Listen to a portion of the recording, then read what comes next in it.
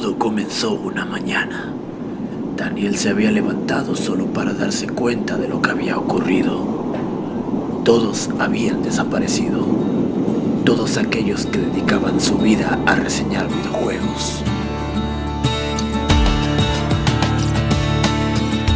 En un instante las redes se habían quedado sin ellos. Personas que dedicaran su vida a hablar y dar su opinión de todo esto. Daniel no se detuvo. Salió a ver el desolado mundo y buscó. No perdía su tiempo. Caminó durante horas buscando, pero todos se habían ido.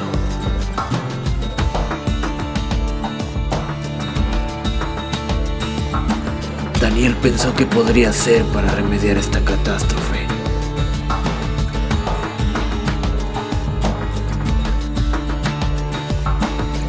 Daniel se detuvo a pensar en el pasado. Se detuvo a pensar en sus héroes, en las personas que le enseñaron todo lo que sabían. Daniel recordó lo que significaba unos taquitos al pastor un buen sábado por la noche.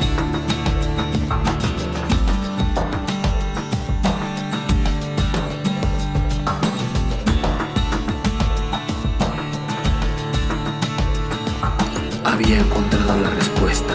Sabía que debía hacer. Daniel se puso en marcha y regresó a donde debía estar. Alguien tenía que escribir esas reseñas y no quedaba nadie más que él. Una vez Daniel tropezó y murió. Se levantó y siguió caminando como si nada pasara.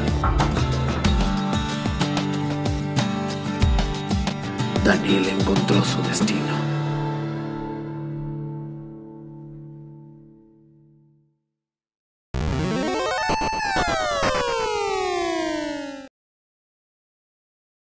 Bastion es un juego de acción RPG en el cual el jugador toma el control de Kid, o como podría traducirse al español, el chico, el cual se mueve en diferentes locaciones que se encuentran en grandes pedazos de tierra flotantes al más puro estilo de Final Fantasy, y lucha con diferentes enemigos en su camino, además de encontrar ítems y objetos que le ayudarán en su travesía. La creación de este juego corrió a cargo de Supergiant Games, un estudio independiente que contaba en ese entonces con solo 7 personas en su equipo de trabajo, entre diseñadores, programadores y artistas. Terminado en tan solo dos años, no solo le valió a sus creadores para hacerse conocer inmediatamente en el medio, sino también para ganarse un lugar y la oportunidad de seguir desarrollando juegos con las ganancias del mismo, además de elegir a su publicitor, la división de entretenimiento de la Warner Brothers. Hasta la fecha ya ha vendido ya casi 2 millones de copias. La historia del juego es sencilla. Todo gira en torno a la ciudad de Ceylondia y sus alrededores, los cuales fueron devastados por una catástrofe apocalíptica llamada la Calamidad, en la cual estas regiones se fracturaron en diferentes piezas flotantes que se esparcieron por el mundo y la gran mayoría de sus habitantes quedaron prácticamente momificados hechos ceniza.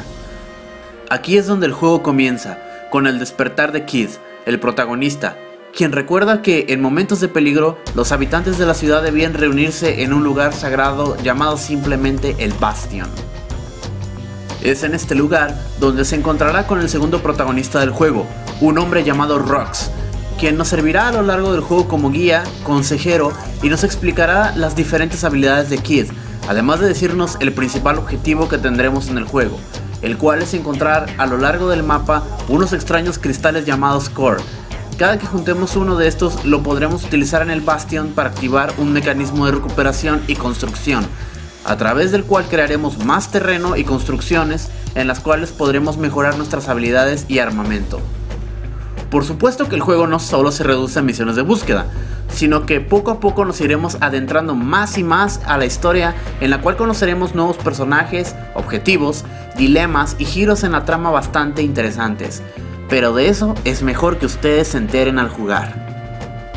En cuanto al gameplay, lo primero que me viene a la mente es el estilo de juego de Diablo, en el cual todo se ve desde una vista superior y en tres cuartos. Pero en este caso atacaremos con un arma primaria, un arma secundaria, además de un hechizo para apoyarnos. El punto de inicio después de la escena de introducción siempre será el Bastion, en el cual, como mencioné antes, podremos mejorar nuestras armas o habilidades, además de su función principal, la cual es hacer uso de unas misteriosas corrientes de aire que conectan con las demás piezas del mundo. Es así como nos desplazaremos a lo largo de diferentes mapas, los cuales podemos explorar para encontrar diferentes enemigos, tesoros y objetos. La mayoría del tiempo tendremos una línea de objetivo que seguir, pero en muchos casos se pueden encontrar caminos alternativos en los que se nos premiará con objetos ocultos u otras líneas argumentales, haciendo el juego un tanto menos lineal y más interactivo. Las peleas con los enemigos son bastante dinámicas y en algún momento se pueden tornar muy agresivas y difíciles, cosa por la cual en algunos sitios de reseña se le ha criticado, pero a mi parecer el sistema es tan bueno que solo basta con intentar y tener paciencia, además de aprender bien los controles para lograr avanzar de área, ya que en ningún momento la dificultad llega a ser injusta como para dejar el juego.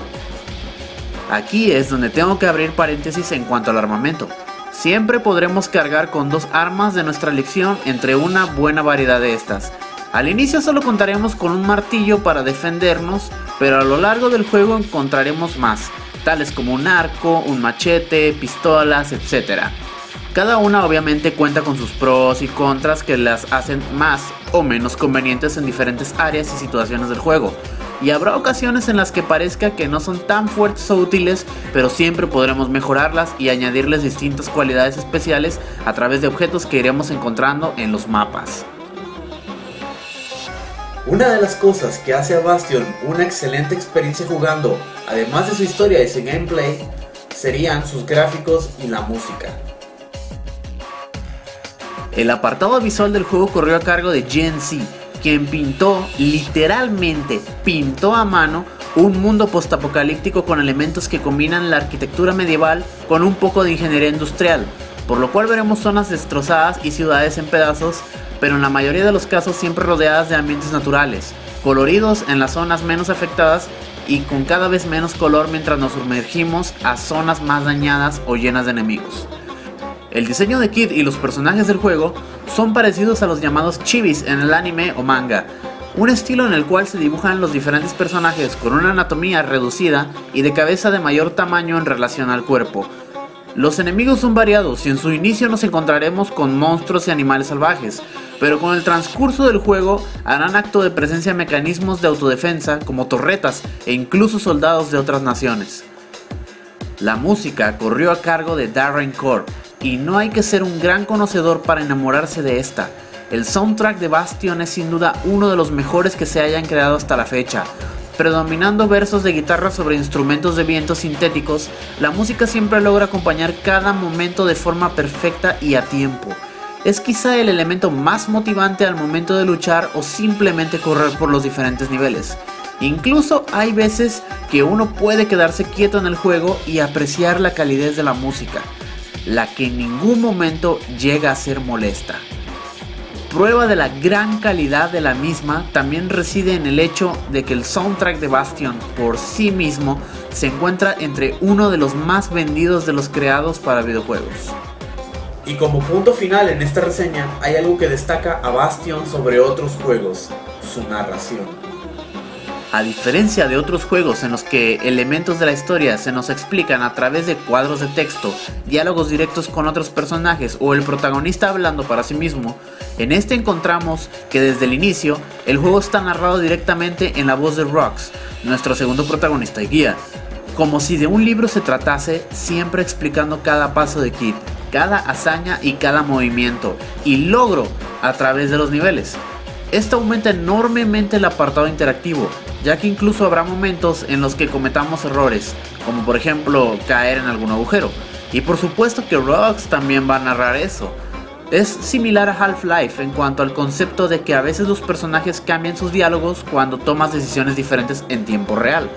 A veces por ridículas o arriesgadas que sean, casi como si estuvieses realmente dentro del juego. A mi parecer, este elemento es siempre bien reflejado debido a que relaja bastante al jugador y lo hace sentir menos solo al jugar, cosa imprescindible en un juego diseñado para ser de un solo jugador.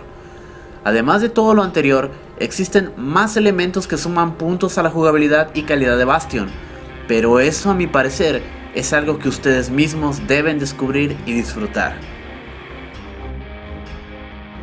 En resumen, Bastion es un excelente juego para aquellos que están familiarizados con el estilo de juego tipo Diablo o RPG, pero también es muy viable para aquellas personas que disfrutan un buen juego de aventuras tipo The Legend of Zelda.